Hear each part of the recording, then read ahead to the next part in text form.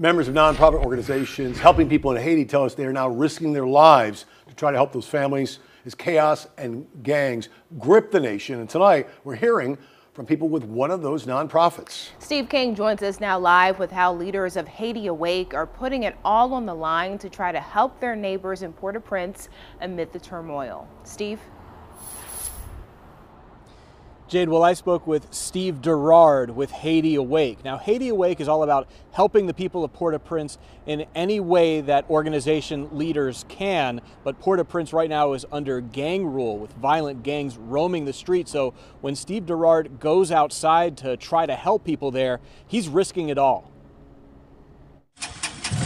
Steve Derard says in order to get around the Port-au-Prince area, which is under gang rule, he's finding people willing to take him on a motorcycle on the streets as Derard sits on the back. That way he can deliver food or other needed supplies to people trapped inside. It's not easy, sometimes it's risky, uh, but we, we, we do what we can do. We cannot drive a, a vehicle, but if we know somebody with, with a motorcycle that would us uh, that can take us to the destination. We'll take a motorcycle and we will do what we can do.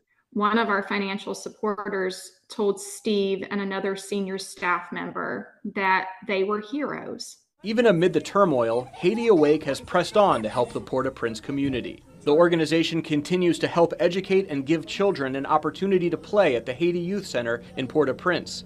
There are also video calls set up for the kids to get lessons virtually, kids can get help with their homework, and there are church services for the families. Haiti Awake leaders also built toilets at the juvenile prison after a need arose and brings the inmates food as well. So stop doing what we are doing, we will keep doing what we can do and take advantage of the day we have and celebrate it and thanks God for it and take it as a blessing and keep doing what we are doing to glorify God. They inspire me to do what I can do each day, um, to get up and be faithful, because that is what they've been. They've been faithful day by day, not just this last month when it's been exceptionally difficult, but through the years. And I spoke with Missionary Flights International based out of Fort Pierce. They say tomorrow another plane carrying people leaving Haiti will be arriving at Treasure Coast International Airport. Reporting live, Steve King, WPBF 25 News.